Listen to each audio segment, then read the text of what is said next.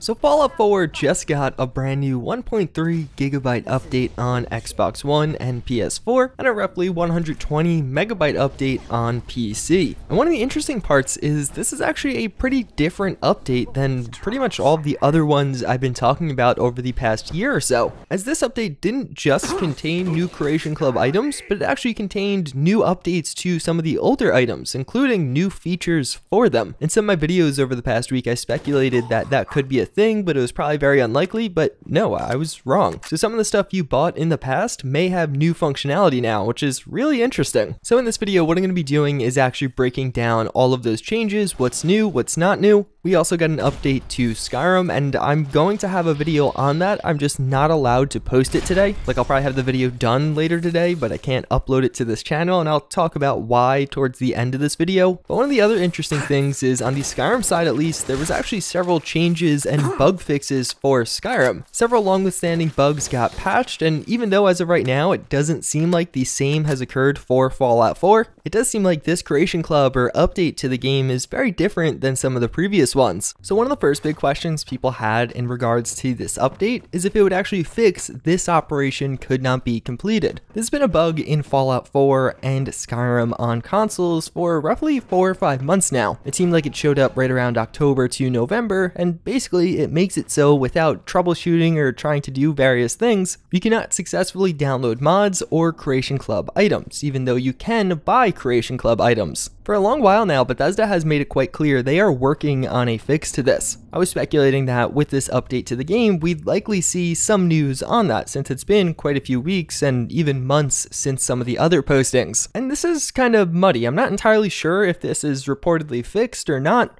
On the user side, people are saying they still are having issues, but on one of the main threads with people reporting being unable to download mods, we did get this post saying today's patch made improvements to the download system for mods. If you continue to have issues, please let us know here and include what sort of Xbox One you're using. So I'm not entirely sure. I've heard other reports that this new patch actually broke one of the troubleshooting fixes, which is odd. Like in other words, disconnecting your internet worked and then following the patch that no longer fixed the issue. Either way, at least as of right now, it seems like it isn't 100% for anybody. Some people still are unable to download mods, but hopefully we'll see more news on this in the days that follow. And outside of that, we have the two new Creation Club releases themselves, and this was actually pretty interesting to me. First and foremost, it's not obvious these even came out. When I tried to log in and buy them, I didn't think they were released because they're not on the featured item page as you normally find those releases. Maybe that's just on my end and some kind of issue I'm having with my game, but either way they are out and you just have to dig through the files to find them. Also along with this update, we did get the breaking of Fallout 4 script extender, but in just one day's time, they actually have updated that, although you may still have to wait for updates to your favorite mods that are dependent on this. For everything to function correctly, you need an update to script extender, but also all of the mods that depend on it. But otherwise, with this update, we got two new additions to the Creation Club, the first of which being Shroud Manor. I showed you guys some preview images of this mod a few days ago, and in effect what it's going to do is give you one, a short quest line. I won't spoil too much, but in effect there was some sketchy business going on at Shroud Manor and there was an undercover cop that was placed there. And I gotta say, as far as this quest goes, even though it's fairly short, it just takes you to a couple locations, one of which being Shroud Manor,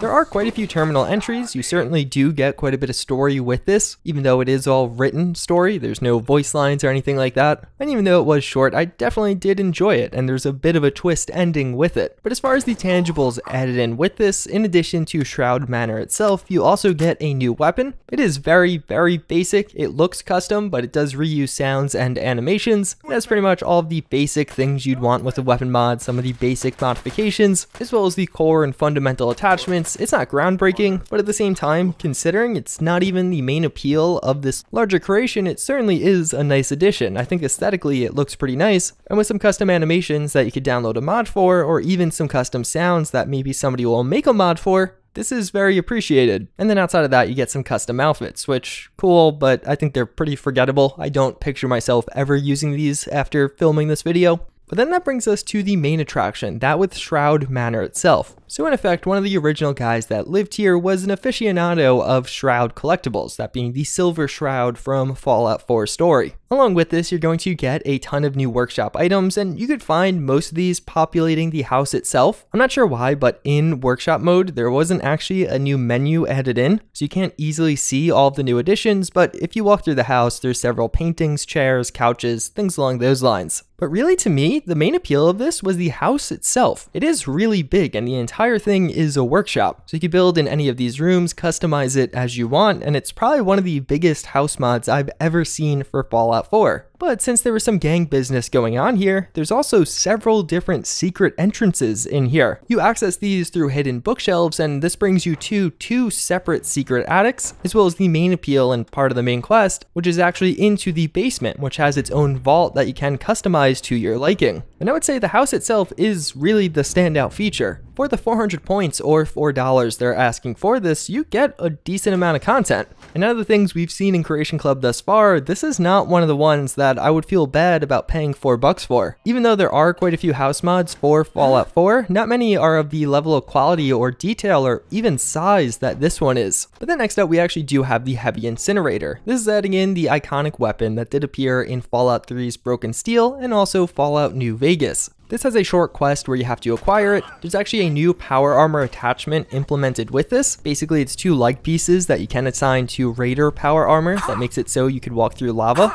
But large in part, the quest was fairly short and forgettable, with the main appeal being the weapon itself. So first and foremost, the weapon does have some customization options, and one thing I will say about that is you could really make this look quite distinctively different, and that's not something you could say for a lot of heavy weapons in this game. And outside of that, it is definitely pretty fun to use. The visuals on this one, the actual fireballs themselves look really nice, and without a doubt, while using this, you could set a fairly large area ablaze very quickly. And if you are curious, that little shield attachment that gives you all those custom dials doesn't actually do anything. They will always be at the same location. As of right now, it doesn't seem like there's another mod out there that does this better, but that's not because it's so good, it just seems like nobody has tackled that. If you have the money sitting on your account and you really like the look of this weapon, sure, go for it. I wouldn't say it's the most overpriced thing ever offered, but at the same time, especially in comparison to the other option with Shroud Manor, I would definitely be picking Shroud Manor over this one. But where this update to Fallout 4 and Fallout 4's Creation Club becomes unique is with what else it adds in. In addition to all of those other cool goodies, you actually get a bunch of updates to previously released creations. There's a comprehensive list posted on the Bethesda.net forums, but some of these are fairly notable additions, like the old school Gauss rifle now actually has its barrel glow as you fire it. It's a fairly minor change, but it's definitely nice. It makes it feel more unique and special. The Doom armor added in a while ago now has several different paint job options, so you can make it any of these colors. Some of the workshop packs also got new additions. Slocum's Joe has a new ceiling and light fixture, but the Modern Furniture Workshop pack actually got several new things. It got three new types of walls, all being the same theme. You can get this new paneled wall and then a windowed version and a doored version to go along with it, but then also three new door types, all of them being fairly similar, just different colors. And then finally three new roof options, so you can get the same paneled version or two wooden options of different colors. But two other really cool changes, now the Hellfire Power Armor, as well as the Chinese Stealth Suit, can be found in the Commonwealth. You may find an enemy using the Hellfire Power Armor, or alternatively may just find it on one of those power armors that is sitting at a power armor station. And the Chinese Stealth Suit now apparently will just appear randomly. There are several other minor changes to other things, but overall, this is cool. It is free updates to some fairly old content. Some of these things came out over a year ago at this point, and I'm honestly shocked to see some new content being added to some of these older creations. I don't feel like with any of them, it was like a make or break, like, oh yeah, that update makes it now worth buying. But for those who already own them, it definitely gives you a reason to maybe give it another try or re-download it on your character. But for several of these, like the Modern Workshop Pack, that was already a fairly good deal. It was one of the ones I recommended initially, and with these added features, it just is even more worth the money. But then we have what is almost always one of the most exciting parts of this a look ahead. When we get an update to Creation Club and Fallout 4, we oftentimes also get an update to the Creation Club file. There's a file known as the fallout4.ccc file that basically just contains the file names for everything in Creation Club thus far. And I'll be honest, the new additions this time around have me particularly perplexed. So there's one that seems fairly obvious, that being V-Suit. Maybe it's some kind of modified Vault suit. There's been several mods to do this, and it honestly looks pretty cool. I think it'd be a cool thing to get through Creation Club, but the ones I'm really curious about are the next three. That's going to be VR Workshop 01, VR Desert Island, and VR Wasteland. Normally when we get these file names, I have some semblance of an idea of what it could be, but this time around, I have no freaking idea. A lot of people will probably immediately say, oh, it's probably related to virtual reality, but that doesn't really make that much sense. Why would some new virtual reality content be one, exclusive to VR, and two, come out in Fallout 4's Creation Club? Even though Fallout 4 VR is fairly successful, I just don't really see how that could fit in with the larger Creation Club store. Even further, I think the naming is interesting, especially the Desert Island and Wasteland one. Those sound like new locations, so you'd almost think it'd be some kind of new world space of some sort. Yet these are also all ESL files. Effectively, ESL files are a little bit smaller, so typically when they add in new world space or new houses or something like that, it'll be an ESM file. Take for example Shroud Manor, you could also find that in here and it is labeled as an ESM file, but these aren't. So that makes me think if they're a new world space, they're probably something relatively small. And then finally, the VR Workshop 01 is by Bethesda, while the other two are by a mod author that we have seen in this before.